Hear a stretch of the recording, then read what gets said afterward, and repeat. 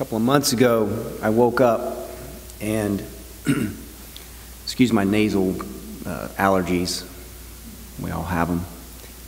I woke up and we were out of coffee. It was bad, Jeff. And I don't know about you, but when I wake up without any coffee in the house, that's the number one, you know, doesn't matter what else is going on. We got to get some coffee going here. So I decided to just drive to the store and buy a cup of coffee. And then I was going to drive to Food Lion and buy coffee for the house. You got to have coffee first and then go buy the coffee, right? So I went to the convenience store at the head of, of Lucks Lane and Courthouse. And I had Koa with me. And I don't know what I was thinking. I hadn't had coffee. So I can blame it all on that. And so, for some reason, and we know why, I left the key in, in the ignition. I just, I was jumping out of the truck, right? Had to get the coffee. And I go in the store, the windows were up because it was a little bit chilly and I didn't want Koa to be cold. And so I come back, and Koa is at my window waiting on me. Yes. And he had locked the door. He had locked all of the doors. And guess what? My cell phone was inside charging. Right? But I had my coffee. Right? So that was good. But it was one of those moments where I had to stop and think and problem solve in the moment. What in the world am I going to do? It's six o'clock in the morning. I'm three, four, five miles away from home. And this is bad. I hope you identify. But at that moment, I had not memorized Crystal's phone number because it's in my phone. I'm one of those people. I knew it was 808, something, something, something. You know, and maybe, I don't know. And so I'm asking to use someone's phone, and that felt awkward. I'm drinking my coffee, trying to figure out what in the world I was going to do. How am I going to go about the day? I still have stuff, you know. And so I'm asking people, you know, I know this sounds crazy. Can you, can you give me a ride home? I'm pointing to the truck, the dog, and, you know. But people were going to work. They were busy. I get it, you know, and I felt so vulnerable. Like I really didn't know what to do, but just I needed help. Somebody please help me. And I'll save the details because of who he works for, and he's not supposed to actually, this person was not actually supposed to do what he did. But he said, I can give you a ride to the end of Lucks Lane because I'm not even supposed to drive you that far. They keep up with my miles, they track the miles, but I can drive you that far and drop you off. And I said, That'll work. And so he drove me not to the end of Lucks Lane, but to where it turns into where we live. And so I knew I had a couple of miles left to walk. And I was just so grateful for that. And he gave me a ride and, and dropped me off. And I still had like a mile and a half in my cup of coffee. I was good. And I was wearing my sandals, right? And it was a little chilly, wasn't the easiest walk, but I had my coffee. And I got home and everything was okay. But I had not felt that vulnerable in a long time. Like I, I, I really needed someone to help me, just help me.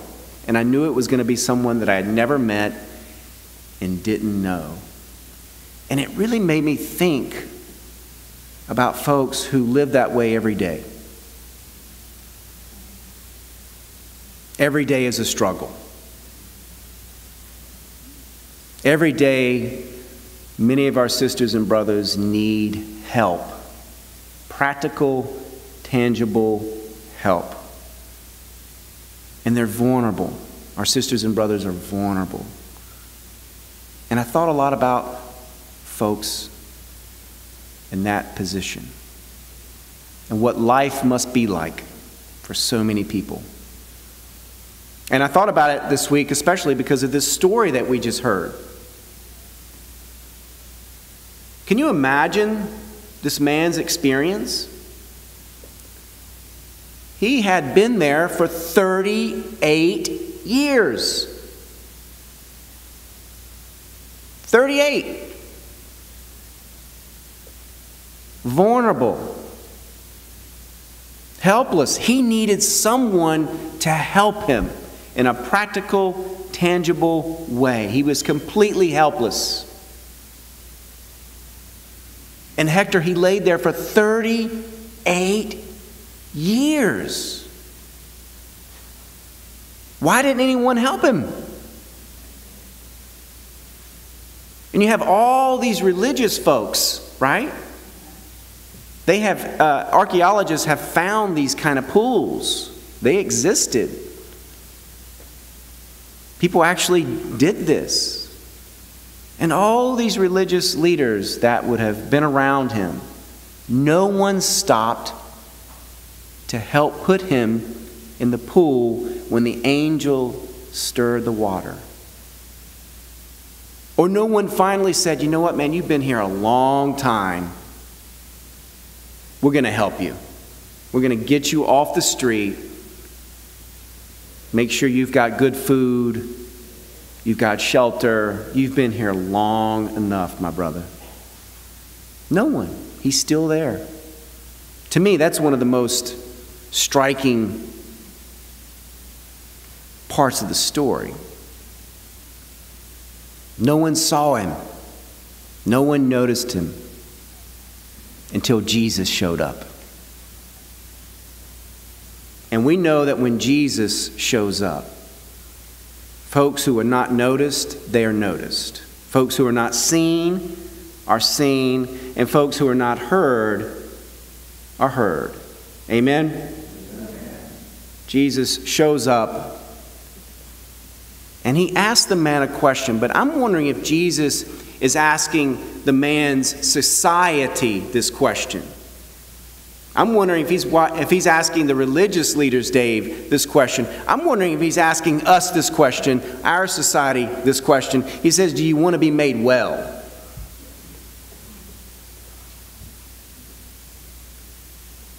I could see him looking at everyone around and saying, This guy's been here for 38 years. Nobody's done anything to help him. Do you want to be made well? Because something ain't right. Amen? Do we want to be made well? And I think the man just didn't know how to answer the question. He's like, Well, I've tried. No, no, no, no, no. Do you want to be made well? And Jesus heals him. And we know that when Jesus heals someone, it's not just for the sake of healing. Jesus is reintegrating this person back into society, or perhaps for the first time, they are a citizens. As I've mentioned before, James Baldwin said, What? You're either a citizen or you're not. There are no second class citizens. So this man was now a citizen. Jesus healed to build the beloved community. And we can't lose out on the significance of Jesus' resistance in this story as well. If we read a little further, Jesus did this on the Sabbath. And all these religious folks were watching him, watching this go down, and watching the man get up and walk, and they see him in his He's, he's healed. He's finally a part of community. And they didn't, they didn't say, Glory be to God. They didn't say, This is a beautiful thing. It's so good to. No. Who healed you on the Sabbath? Who broke the law? Who broke the rules? Who did this? And if we read in there, they wanted Jesus dead for doing what he did. They wanted to get rid of Jesus. The resistance in this story. Church, we are called,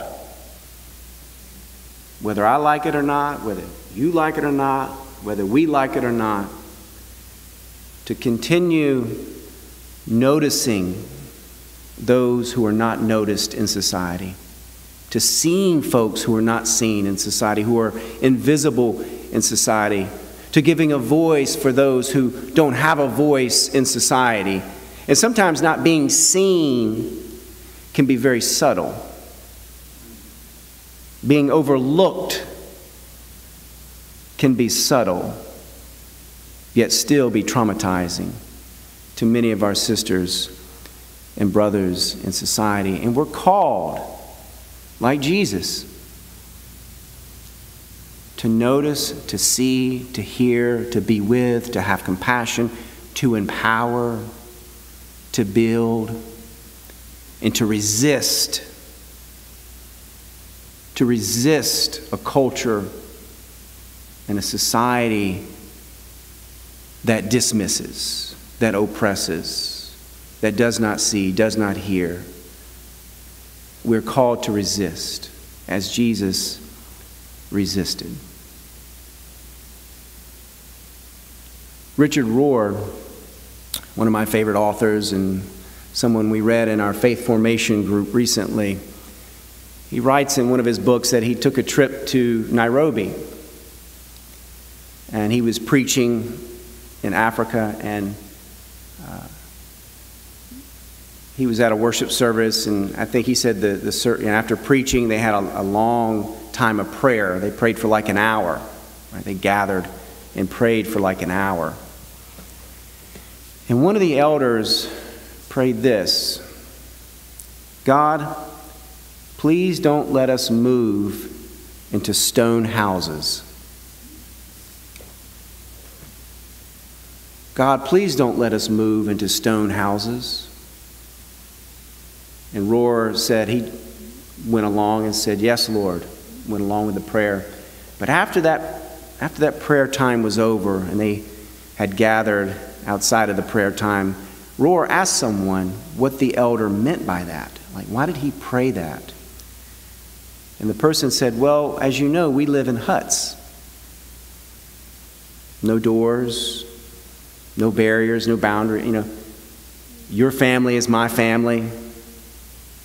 My family is your family. We're community. We're all family.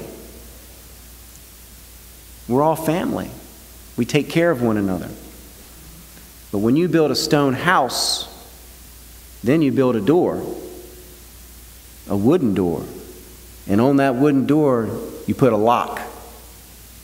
And behind that locked door, you keep your possessions and keep what you own, and you keep others out.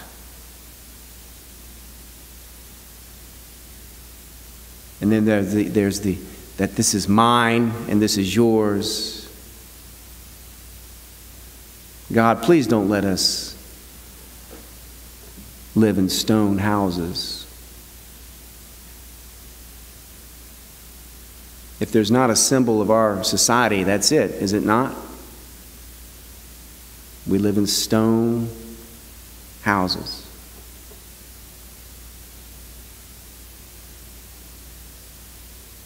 Church, we are called to follow Jesus, to see those whom society does not see,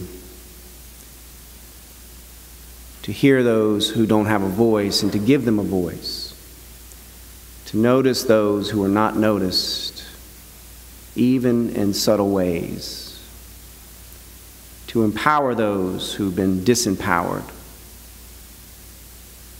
and to resist a society that builds stone houses. Because guess what? We're all just children. We're all just beloved children of the living God. Your family is my family. My family is your family. We're all family on this beautiful earth. In Jesus' name, amen. God is good, and all the time. Take a good look around, church family. The peace of God, the peace of Christ. Namaste. As the Buddha says, look with, one, look with eyes of compassion upon one another. See the love within each and every one of us. We are family. Amen. Amen. We are the church. We are called to love one another, to care for one another, to have compassion on one another, to have empathy for one another, to hold one another in prayer, and sometimes hold one another physically. There are times when we need to carry one another physically. Amen. And to stand together, to resist, to get in some good trouble, to confront the powers that be, the forces of oppression and systematic sin such as racism and homophobia and sexism. And I could keep going. Amen. To resist it, to oppose it, to stand up against it, and to offer the reign of God in the midst of it. Amen. So receive this, church family. May the love of God go with us. May God's love saturate our memories. I want to say that one one more time. May God's love saturate our memories. May God's love overwhelm us. Yes, God, overwhelm us with your love. God is love. As we carry God's love within us, we carry God's love to the world around us. So go forth, church, in the name of the love of God. Amen.